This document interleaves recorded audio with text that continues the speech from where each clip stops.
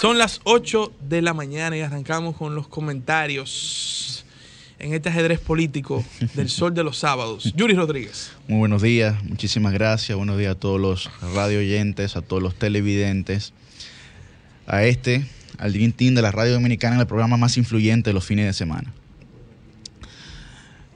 Miren, en tiempos donde nadie escucha a nadie, en tiempos donde es todos contra todos, en tiempos egoístas y mezquinos, en tiempos donde siempre estamos solos. Habrá que declararse incompetente en todas las materias del mercado, habrá que declararse un inocente y habrá que ser abyecto y desalmado. Yo ya no pertenezco a ningún ismo, me considero vivo y enterrado. Fito Páez, al lado del camino.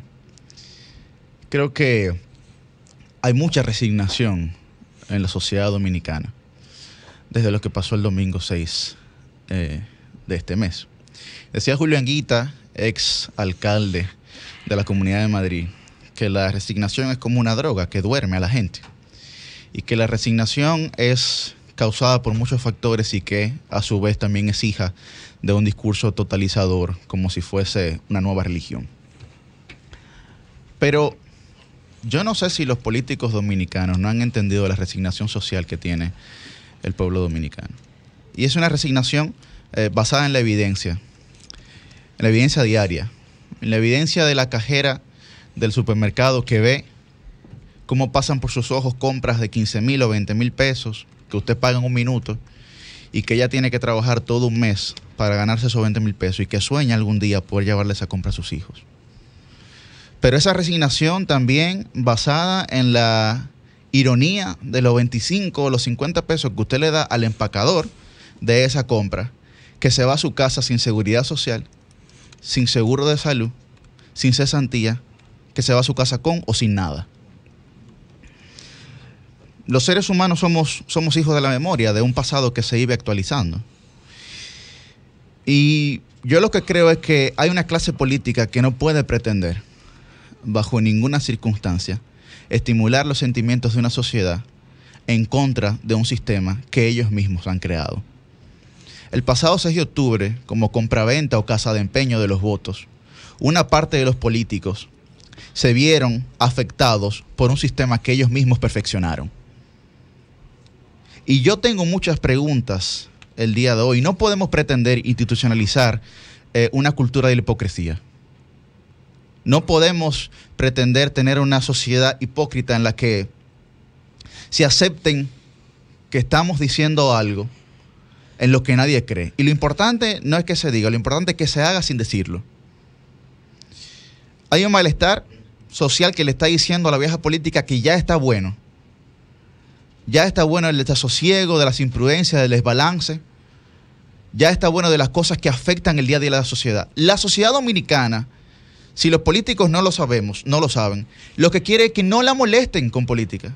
Y lo que quieren es que los políticos puedan enseñarle cómo pueden resolver sus problemas de su día a día. Nada más. Y yo creo que hay mucha gente cansada de la doble moral en este país, que nos agobia, que no nos deja ni respirar. Miren, yo vi, y me hago la pregunta, porque yo vi unos influencers, unas personas de los medios subiendo una foto de un niño acostado sobre un cartón con sus chancletas que le servían como almohada, que le servían como almohada y su camiseta con la cara de un candidato que le servía como sábana. Yo le tengo una pregunta a esa gente. Muy mal. ¿Se harían eco esa gente de la profunda necesidad material de ese niño si no hubiese tenido esa camiseta o si en caso de no hubiese tenido ninguna camiseta? No, no importa. ¿Eh? La indiferencia hubiese primado como costumbre a esa gente. Pero yo le pregunto también a esa misma gente, ¿por qué aceleran el carro cuando viene un limpia vidrio? ¿Por qué les harta la gente que pide en la calle? ¿Por qué le molestan los pica pica? Ah, no, eso es folclore. Eso, eso no causa ningún alboroto. Causaría más alboroto que yo aquí digo una mala palabra.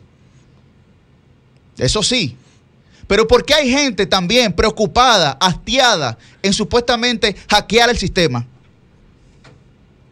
dando charla y hablando de cosas que ni siquiera se ha capacitado debidamente. Y que también se hacen eco de esa foto de ese niño. ¿Ese es el sistema político dominicano? No, no es verdad, es un sistema político dominicano. El sistema político dominicano es la indiferencia de gente como ustedes. La indiferencia de mucha gente que no se implica y que después quiere sugestionarnos a nosotros los políticos por el trabajo que estamos haciendo. Pero ustedes saben qué pasa. Se seguirán haciendo eco de imágenes como la de ese niño, porque no conocen la realidad de los niños y de los jóvenes en Atillo Palma, Montecristi, que son dos calles de tierra y casas de madera. Porque no conocen la realidad de los niños y los jóvenes en Vallejuelo o en Arroyo Cano, en San Juan de la Maguana. Porque no conocen la realidad de los niños y los jóvenes en Tabararriba, en Asua.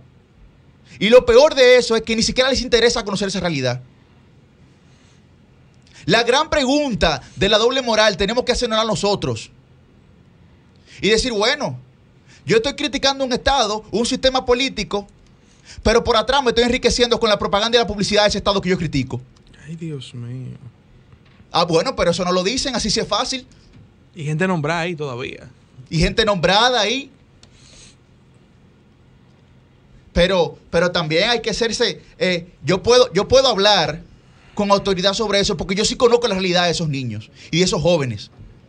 Porque aquí hay una clase política que en sus horas libres se la pasa recorriendo el país para escuchar los problemas de la gente y para después llevar soluciones. Cosas que ustedes no hacen. Porque no tienen esa vocación. Y perfecto, si usted decidió hacer otra cosa en su vida, no hay problema. Pero es- esas son la misma gente que al final, cuando uno hace el trabajo, vienen y dicen, no, no, pero es que no hay nada que reconocer porque ese era su trabajo. Ah, bueno, pero así sí es fácil. En el caso específico del PLD, en el caso específico del Partido de la Liberación Dominicana, la cosa está clara. Leonel Fernández demandó a la fábrica de presidente porque fabricaron otro presidente que no era él. Y vuelvo y hago preguntas aquí sobre la doble moral. Porque tenemos que ser más honestos y más sensatos frente a la sociedad. ¿Por qué quien fue árbitro y juez en las elecciones del 2016 hoy es parte? Pierde toda credibilidad. ¿Por qué?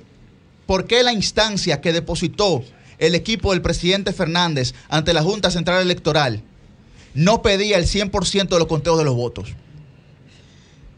¿Por qué la oposición encabezada por Luis Abinader decía que favorecía el conteo manual de los votos y no solicitó una instancia formal frente a la Junta? Porque nada más quieren ver las naves arder del PLD.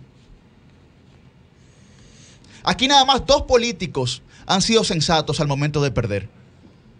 Danilo Medina E Hipólito Mejía. e Hipólito Mejía. Los únicos dos que han aceptado sus pérdidas. Luego, nadie más. Nadie más.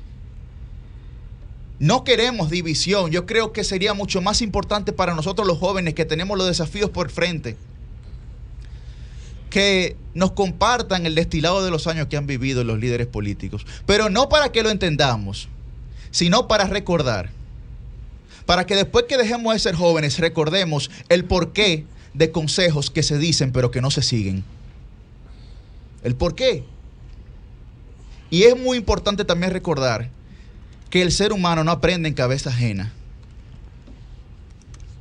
Y muchas veces se aprende más de los fracasos que los triunfos. Si los triunfos no nos meten en la tumba y aprendemos a levantar, los fracasos, perdón, no nos meten en la tumba y aprendemos a levantarnos de ellos, son mucho más beneficiosos. Pero yo le quiero decir algo al presidente Fernández y a ese equipo. Déjese ya de los amoríos con gente que no es de su partido. Con gente que no reconoce la labor que usted ha hecho. Incomiable. Con gente que no sabe que usted es un ejemplo para esa institución. ¿Usted sabe por qué? Porque cuando a Frida Kahlo le preguntaron que qué ella pensaba de los amoríos que tenía Diego, su esposo, con otras mujeres, ¿usted sabe lo que ella respondió? Yo no creo que los márgenes de un río sufran por dejarlo correr. Lo van a dejar correr y muy afuera, muy afuera, va a estar y luego no va a tener la posibilidad de recoger ni siquiera las cenizas. El de los